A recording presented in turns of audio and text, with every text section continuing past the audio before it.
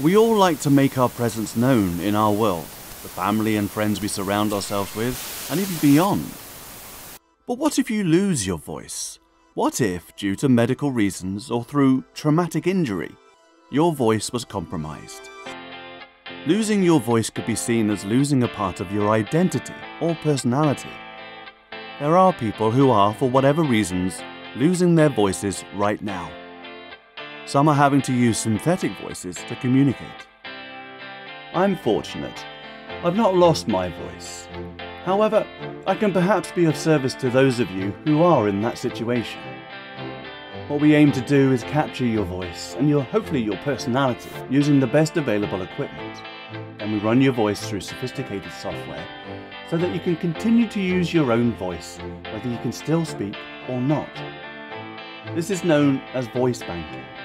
If your voice is already gone, then maybe I can find a voice to suit you, something close to your own. This is my voice. Let me help you to keep yours.